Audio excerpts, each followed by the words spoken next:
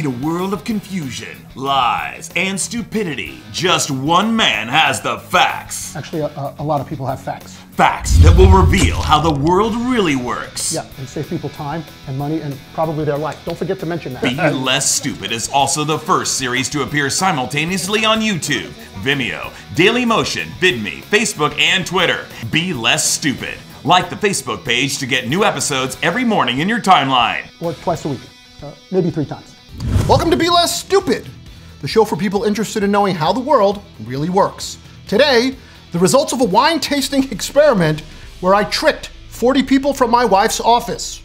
And it's all brought to you by the new Star Wars movie, Rogue One, which uh, I think Disney really cheaped out on.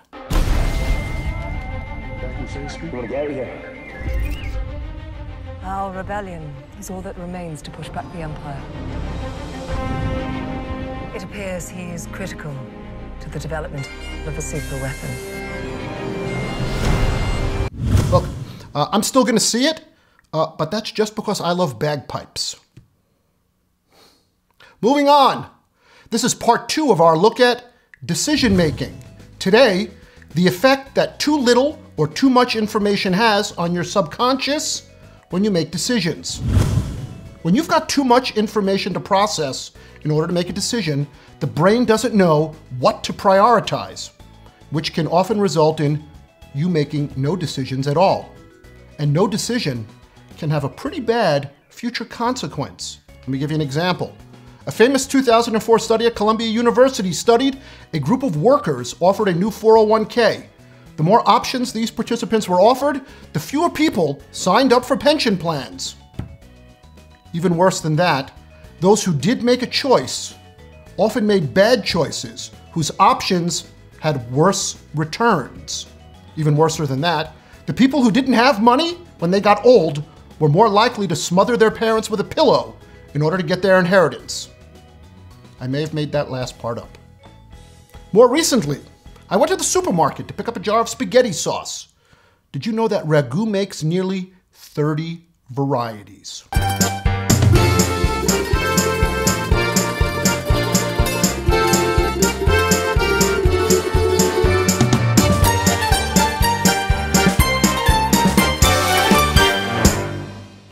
So many options.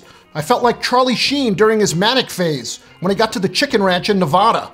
There weren't just three or four prostitutes in the welcome lineup, like when the Walmart big rig operator with a fistful of truck stop lambskin condoms comes in wearing that official boob inspector t shirt. No, no way.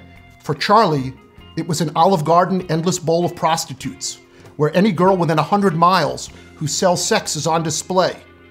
They can smell his wallet from space. The point is, all I wanted was a jar of tomato sauce. Prego had 20 varieties, Classico too. So much information, too many options, sensory overload, could not compute. So I just ran home and uh, ordered a pizza, topped with uh, pepperoni and uh, extra Valium. Conversely, an absence of information when making decisions is also problematic. The human brain has adapted over millions of years, except for Donald Trump's, whose brain, according to science, is comparable to that of a poop throwing chimp on a good day, uh, Gary Busey uh, on a bad day.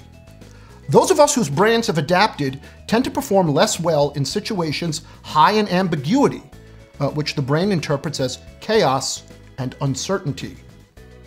And in the absence of a complete picture, our brains tend to make a series of instantaneous assumptions to give us a fuller picture. In other words, when situations are murky, our subconscious just makes shit up, which pisses off Brian Williams uh, because that's his job. Those assumptions might be good evolutionarily, uh, but the fuller picture they paint can also be just, in fact, less true. Let me give you an example. Our ancestors who heard a rattle in the bushes and went, oh fuck, tiger! Uh, well, they lived to pass along their genes because the consequence of running away scared was their survival. Our ancestors who heard a rustle in the breeze and went, Yup, sounds like there's a breeze over in the bushes. Uh, well, they eventually became uh, tiger meat. To demonstrate what effect too little information has, I threw a party for my wife's birthday, invited her office colleagues, then asked them to sample three varieties of wine. I gave them very little information, just that there was a cheap bottle, a medium priced one, and an expensive bottle. I instructed everyone to write down what they thought of each wine. Now, here's what they didn't know all the wine was from the same jug of Carlo Rossi, which retails for about $6 a jug. According to Carlo Rossi's online reviews, it pairs nicely with anything ladled onto a prison cafeteria tray, and its aroma has hints of uh, cherry, grape, Hoboken, and a slaughterhouse dumpster fire located next door to an old age home. You know, because uh, old people smell bad. And yet, here's some samples of people's comments. First, bottle number one, which was labeled as the cheapest.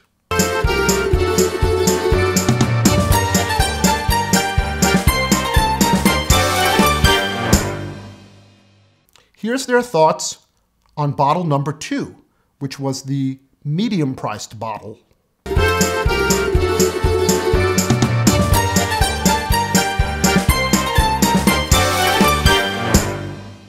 And here's their thoughts on bottle number three, which I labeled as the most expensive.